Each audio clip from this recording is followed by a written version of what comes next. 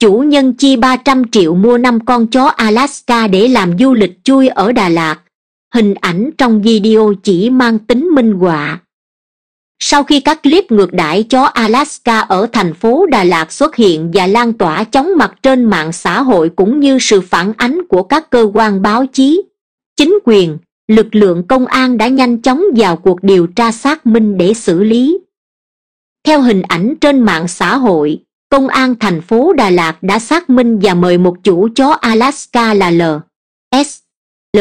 nhốt chó ở hẻm cầu đốt P.10, thành phố Đà Lạt, đến làm việc. Tại cơ quan công an, L. khai mình đăng ký thường trú tại huyện Đức Trọng, tạm trú tại đường Lê Văn Tám, phường 10 và vào khoảng tháng 5 năm 2024, L đã chi 300 triệu đồng mua năm con chó Alaska nhằm làm dịch vụ chụp hình chui tại quảng trường Lâm Viên bằng hình thức cho khách du lịch thuê chụp ảnh lấy tiền. Long có thuê một chuồng heo tại hẻm cầu đốt để nuôi nhốt chó.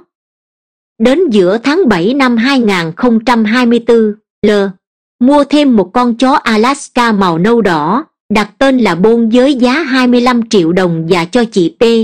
E. E. e 39 tuổi ngụ phường 9, Đà Lạt, góp 10 triệu đồng để kinh doanh chung. Bà T. giao cho con trai là T. E. Quy. 13 tuổi, đang là học sinh, quản lý chó để cho khách chụp ảnh, làm việc trải nghiệm trong thời gian nghỉ hè.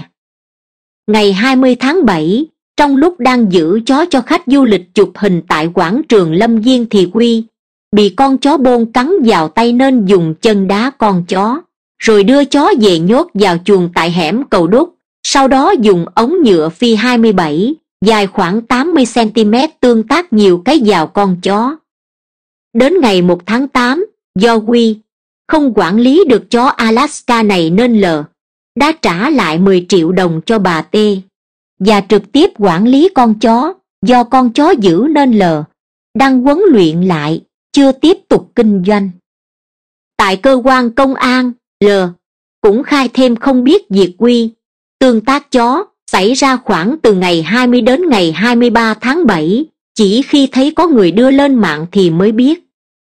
Hiện cơ quan công an tiếp tục điều tra, xác minh để làm rõ và xử lý theo quy định đối với hành vi ngược đãi chó Alaska của những chủ chó, trong đó có Quy, xuất hiện trong các clip lan truyền trên mạng xã hội.